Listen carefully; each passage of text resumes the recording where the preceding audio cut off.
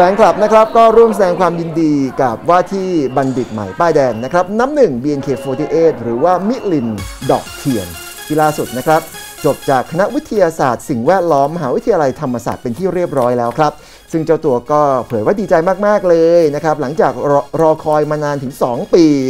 ก็มีแพลนว่าจะเรียนปริญญาโทต่อนะครับ ด้านบริหาร เพื่อจะนำไปต่อยอดในธุรกิจของตัวเองในอนาคตครับ จริงก็ เรียนจบมาประมาณ 2 ปีกว่าแล้วใช่ค่ะ แต่ว่าด้วยความที่แบบติดสถานการณ์โควิดด้วย แล้วก็มีการเลื่อนการรับปริญญาอะไรอย่างงี้ด้วยก็สุดท้ายก็คืออะได้รับสักทีก็รู้สึกดีใจ เพราะว่าตัวเราเองก็แบบรอคอยรวมถึงครอบครัวเราหรือทางแบบทางแฟนคลับที่เขาแบบสนับสนุนเป็นกำลังใจให้เรามาเสมอเขาก็แบบ เอ้ย จะได้มาร่วมแสดงความยินดีกับเราแล้วนะ จบคณะวิทยาศาสตร์สิ่งแวดล้อมจากมหาวิทยาลัยธรรมศาสตร์ค่ะ มีแผนไหมจะเรียนต่อหรืออยากจะทำอะไรมากเพิ่มขึ้นอีกไหม สำหรับน้ำหนึ่งเองมีแพลนที่จะเรียนต่อโทเหมือนกันค่ะ แต่ว่าจะอาจจะไม่ได้สายวิทยาศาสตร์เหมือนเดิม แต่จะเป็นในเรื่องของการบริหารธุรกิจอะไรแบบนี้เพราะก็มีความฝันที่แบบว่าเอ้ยถ้าวันหนึ่งเรามีแบบธุรกิจอยากจะเป็นเศรษฐีนี้ท่านหนึ่งอะไรอย่างงี้ก็แบบว่า แบบเรียนมาต่อยอด จริง ๆ มองไว้หลายแนวจริง ๆ แบบ ทุกวันนี้เวลาเจอเพื่อนๆก็คุยกันว่าเฮ้ยเราจะทำอะไรดี แต่ว่าพอคุยกับเพื่อนๆก็จะฟุ้งไปเรื่อยค่ะแบบ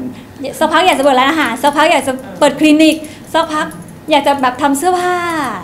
แต่ว่าที่ชชื่นชอบส่วนตัวก็คงจะเป็นเรื่องความสวยความงามเสื้อผ้าเครื่องสำอางอะไรรวมถึงน้ำหนึ่งเองก็เคลียร์คิวด้วยเพราะว่าจริง ๆ วันที่ 14 นี้มีวันเออเป็นตรงกับวันซ้อมรับปริญญาย่อย แต่ว่าก็ลาเป็นที่เรียบร้อยแล้วเพราะว่าอยากเจอกับทุกๆคนมากๆ ครั้งนี้ก็จะเป็นงานใหญ่ที่เราจะได้เจอกับแฟนๆ แบบคุยกันแบบอิ่มหนำสักทีเพราะก่อนอันนี้จะเป็นแบบ mini handshake หรือว่า high touch มันก็จะได้คุยกันแป๊บๆ อะไรอย่างเงี้ยใช่ไหมคะ ก็รู้สึกว่าไม่ได้เจอกันนานก็คิดถึงอยากเล่นด้วยค่ะเดี๋ยวหลายคน clear คิวเลยเพื่อจะแบบไปรอเจอกับ